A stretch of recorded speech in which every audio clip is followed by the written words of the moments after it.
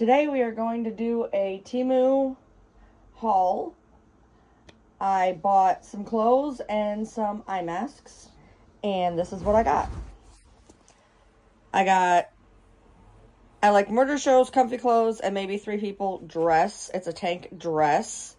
Um, I have this in two different t-shirts and a, I'm sorry, I have this in two different sweatshirts, a t-shirt, a dress, and I actually bought another tank top.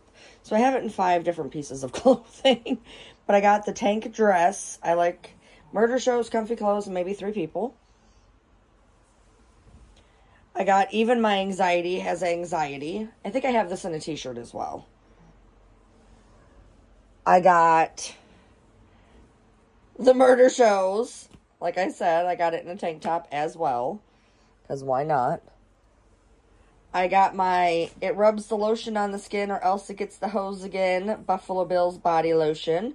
Comes with its own free basket. Oh, that was... I didn't... My other one doesn't have that. I have this on a t-shirt as well. This is from Silence of the Lambs.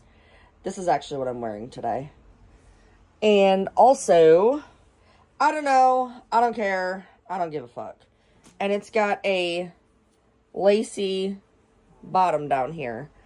And then besides that, I got a eye mask that has um, almost like little buckets for the eyeballs. I got a few of these. I buy eye masks all the time. These ones right here are like 10 bucks normally. This was like a dollar fifty. They got the like eye buckets so you can like actually open your eyes. They're super comfortable. And this one has where it is like divoted down.